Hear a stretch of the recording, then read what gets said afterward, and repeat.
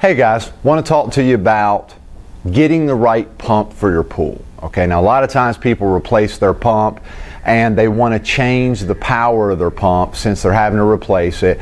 And their question is, how do I know what pump to get? Let me explain it to you this way. This is the way it works. What you do is you have your pool and you have your filter system, which includes your pump and your filter. What you want to do is match your filter system with your pool, not just your pump with your pool.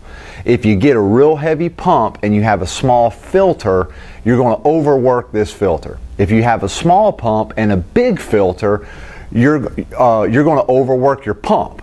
Okay, so what you want to do is you want to match your pump and your filter together with your pool. That's the most important thing, okay? Again, if you have this huge filter and you put a small pump on there, you're going to hurt your circulation. It has nothing to do with your pool size, uh, your water capacity. It has more to do with uh, your pump and filter system, okay? So keep in mind you want to match your pump with your filter and then your filter system with your pool size. Okay? For instance, I can kind of make this easy for you.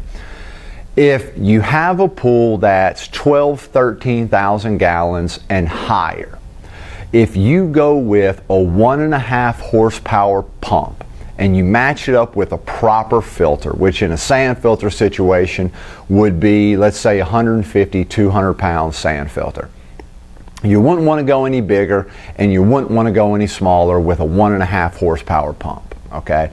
If you put a one and a half horsepower pump with a 150 to 200 pound sand filter, you're going to get incredible circulation on any pool 12,000 gallons and higher. Okay? Even some of the biggest above grounds, because basically in a 12,000 gallon pool, you put that type of filter system, one and a half horsepower, let's say 200 pound sand filter, you're going to run all the water in your pool through that sand filter three times a day in a normal 10, 12 hour pump circulating um, cycle. Okay? So, running all that water through your filter system three times a day is all the filtration you need and then some. Okay? Now, putting a pump and filter that big on, let's say, a 15 foot round or 12 by 24 oval, that's more circulation than you're ever going to need. Okay, you could even drop that down to a 100 pound sand filter with a one horsepower pump and have plenty of filtration. Okay, so that's kind of your limit there. If you're dealing with a 24 foot round or a 16 by 32 oval, which are equivalent in water capacity, one and a half horsepower pump and a 150 to 200 pound sand filter is going to be adequate for anything above a 24 foot round or a 16 by 32 oval. Anything less than that, you could go with a 100 pound sand filter and a 1 horsepower pump and you'd even be fine.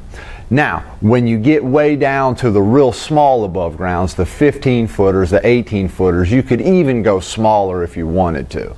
Um, I personally like a little more meat in my filtration system than what's necessary because I've noticed if you put a little more filtration on here, it's going to cut down on uh, having uh, water circulation issues. Your chemicals are going to stay more consistent. It's just a little better for you.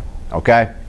So that's basically it. Really, you don't need anything more for an above ground pool than a one and a half horsepower and a 200 pound sand filter. Okay, that's pretty much going to handle every above ground pool.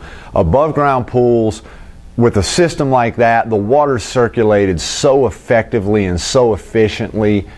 Above ground pools really are easy to take care of, okay, as long as you have a really good filter system for it, okay?